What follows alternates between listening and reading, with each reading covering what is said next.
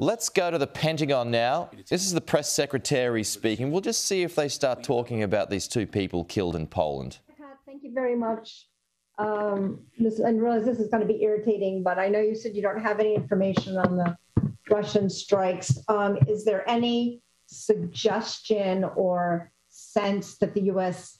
believes this is not accurate? Are you looking into it? Uh, can you give us just some sense of whether or not um, these reports are deemed believable and what, if any, calls may be happening right now? Yeah, thanks very much, Lita. Uh, so, as I mentioned, uh, right now uh, we are aware of the press reporting on this. Uh, we have no information at this time to corroborate those reports, but again, are, are taking them seriously and looking into them. And so, um, I will make sure that we provide you with any updates as soon as we have them. Did you have a follow up, Lita?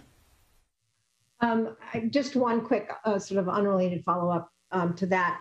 Um, do you have any estimate on the number of Russian troops that are currently in Ukraine? Um, is it 100,000, fewer than 100,000? Can you give us any sense of that? Yeah, we'll pull up uh, that there. Pat Ryder speaking from uh, Arlington in Virginia. He obviously doesn't know much about what's going on at the moment. So um, the uh, American authorities still investigating those reports this morning of what may well be a stray Russian missile or rocket strikes that have hit Poland a NATO member, two of them in fact. Whether it was intentional or unintentional, all of those answers will have to be revealed at a later time. Uh, not much detail coming from the Pentagon at this stage.